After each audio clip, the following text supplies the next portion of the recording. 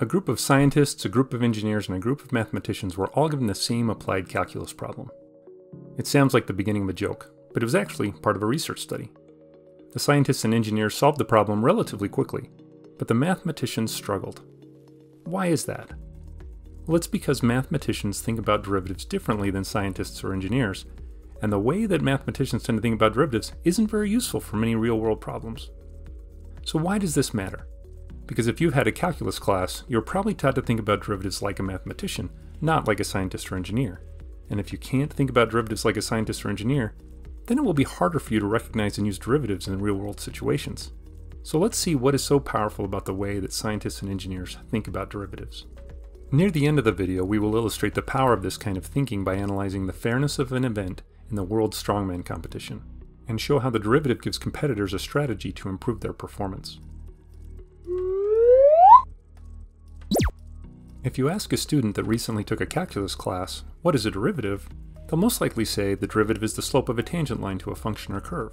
This is the meaning that's pushed in most calculus classes, and it's one of the things that I would wager most students remember from calculus class. But there are different ways to think about the meaning of a derivative. Here are five possibilities. 1. A ratio of small changes. 2. The solution to one of these limits. 3. The rate of change of one quality with respect to another. Or 4. The new function after applying derivative rules. 5. The slope of a tangent line.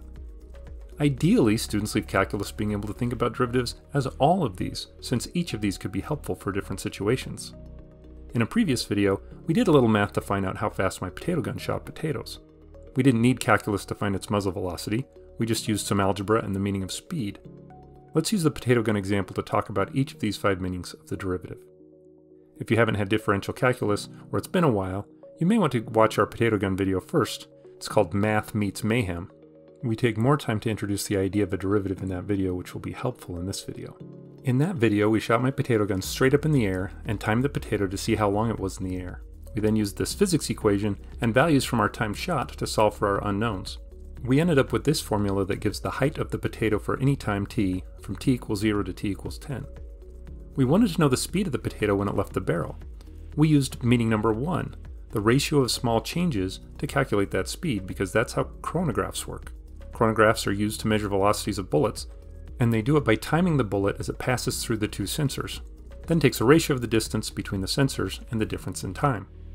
We did a similar thing but used our mathematical model to get values for the change in distance and the change in time.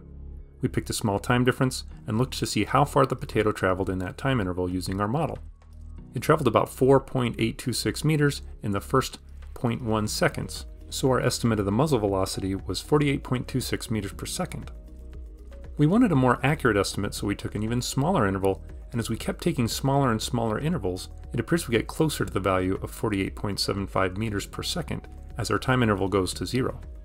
This leads us to meaning number two, finding the limit of this expression as t goes to zero. If we start with a ratio of small changes, then we can build the limit definitions, since the limits are ratios of small changes with the denominator going to zero. So in essence, the limit was doing what we did in the last video as we calculated better approximations of the muzzle velocity with smaller and smaller intervals. Now that we have a value of 48.75, we can interpret it as the muzzle velocity, but we can also use meaning number 3 and interpret it as a converting tool that converts a small change in time, around t equals 0 at least, to a change in distance or height. The change in time from 0 to 0.01 seconds can be converted to change in distance, with 48.75 meters per second times 0.01 minus 0 seconds, which is 0.4875 meters. The units can help us with the interpretation. If you've had calculus, you probably are very good at meaning number 4 and remembering derivative rules that would allow us to calculate the derivative at t equals 0 very quickly. We can use the power rule, plug in t equals 0, and get 48.75. The derivative rule's conception is good for calculation, but not so good for recognizing or interpreting derivatives. In this example, we've touched on all but one of the conceptions for derivatives. Number 5, the slope of a tangent line. It doesn't seem connected to our question at all. The slope of the tangent line is a graphical interpretation of the derivative, and the question about how fast a potato is going doesn't seem to be connected to a graph, so it would feel weird to try and use it for this problem. And that's actually true of a lot of real-world derivative situations. Real-world questions rarely connect on the surface to the slope interpretation of the derivative, So if students only think about derivatives as slopes of tangent lines, then they're not prepared to recognize or interpret derivatives in many real-world situations. Thinking of a derivative as the slope of a tangent line wouldn't be so bad if we emphasized the units for the slope, but that's rarely done in math class.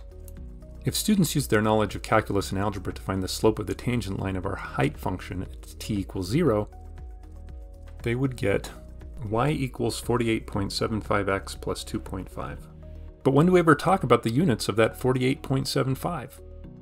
And if students or teachers write it in terms of x and y, it's even harder to see why 48.75 makes sense in this situation, since the units are meters per second.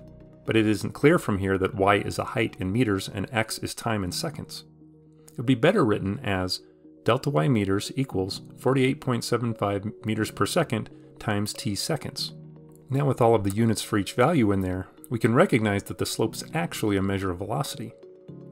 So which of these conceptions about derivatives are helpful in real-world problem solving? let's see how the engineers, scientists, and mathematicians tried to solve a real-world problem.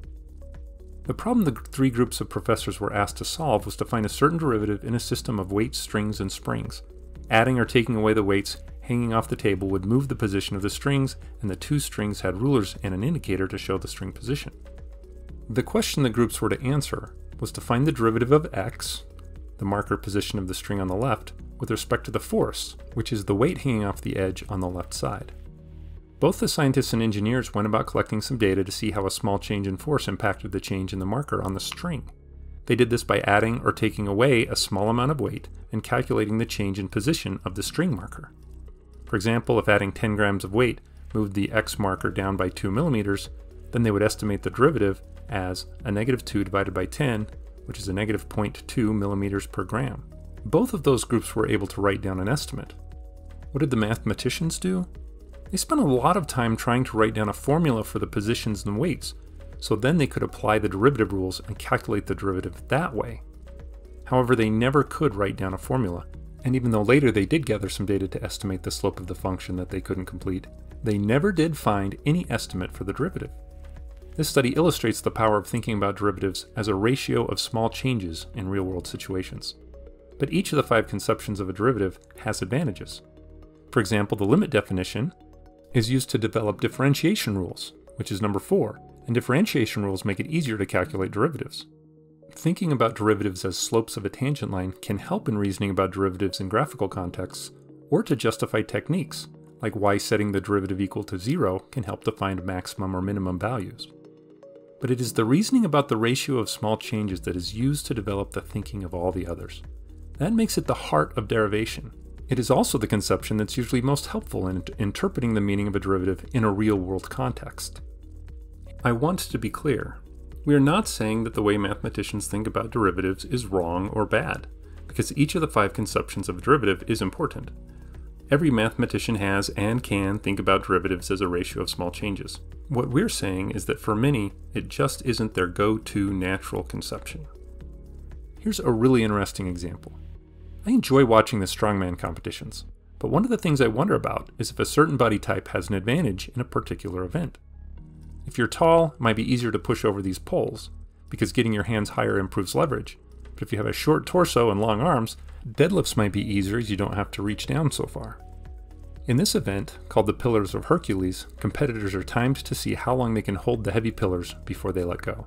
This event seemed suspect to me because it seems to favor athletes with shorter arms for their height because the further out the pillars lean, the harder they are to hold up.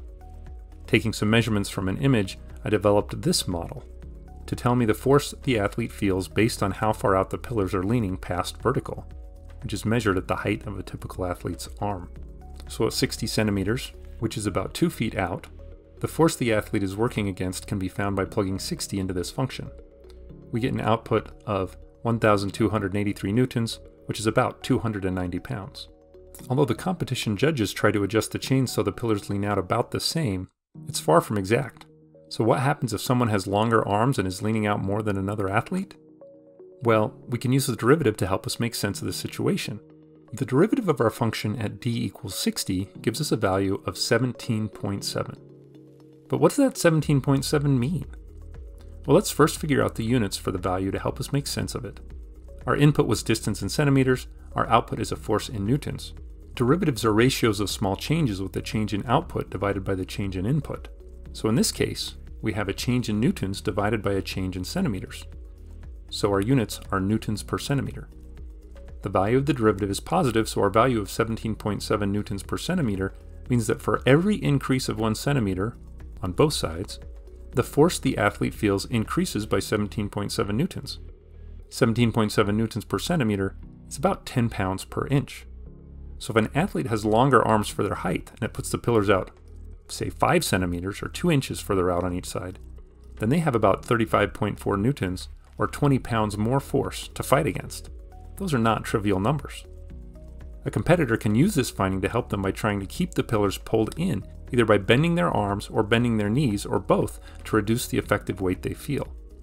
Notice that in this Pillar of Hercules example, the interpretation of the derivative as a ratio of small changes was very helpful in making sense of the meaning of our derivative value, 17.7.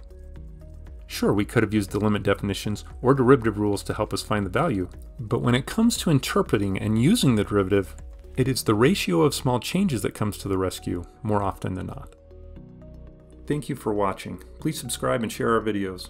Be sure to follow Math the World on Twitter, Instagram, and Facebook. Thank you so much for your support.